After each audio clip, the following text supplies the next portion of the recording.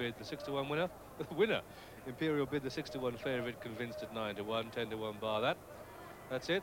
So, for the November handicap, they're all in and they're all out. Abu Kadra was a little bit slowly away. Wells in the stalls, Tivian a little bit slowly too. Up on the outside, Carillon disputes the early running with Jolly's Girl, Regal Steel, Imperial Bid, El Platino, Kingswick next to the rails in the red jacket. Behind these, Nice One Andy and High Tension up on the outside, Cherry Hill, Calorge. Tracking these comes Warwick Sweet, Summer uh, Ridge mid-division, and the back marker is Abu Kadra as they race away from us, with Jolly's Girl running very wide indeed, uh, just in second place, but it's Regal Steel the leader. New tactics being employed on him. He normally comes uh, with a charge as they turn into the home straight, but leads by a couple of lengths from Jolly's Girl second. Kingswick races third, up on the inside trying to make a bit of ground, Warwick Sweet. The back marker is now Inset Lady, Abu Kadra having passed up one, and Adorisa towards the rear too. Ridgefield mid-division, El Platino hunts up the leaders, but as they continue the, uh, continue the journey, into the home straight. It's Jolly's girl who now takes up the running, just on the outside of Regal Steel. El Platino back in third, Kingswick four.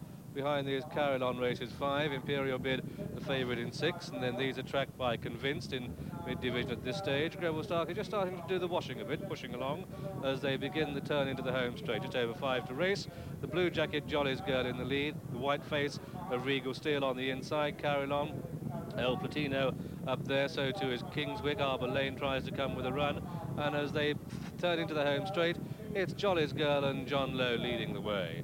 So they're in line for home now, just over four to race, and uh, all, the leader, John Lowe, is bringing them down the centre of the track. He leads on Jolly's Girl. Behind these, Imperial Bid makes good ground in the pale jacket. Steve Cauthen going for home. Just over three to race. Jolly's Girl, Imperial Bid, convinced. Abu Kadra, Cherry Hill. Calor's trying to come with a run. Bold Rex coming strongly there on the near side. And uh, the grey on the far side that begins to make ground Moon Jester, two and a half to race. And it's Bold Rex who's come storming through on the near side. Bold Rex who's come through for Joe Mercer. This could be a big race win for Joe. Just one and a half to race, and it's Bold Rex in the lead. From Cherry Hill in second place, John Dunlop one, two. Ballydurrow back in third, High Tension in four. And it's Joe Mercer going for home, going for everything. Going for glory on Bold Rex. Here comes Joe inside the final furlong. It's Bold who's clear of Cherry Hill, Ballydurrow and High Tension. That's going to be the one, two, three, and the one, two, three, four. Ridgefield stays on well, but Joe Mercer bows out in sensational style. Rex the winner.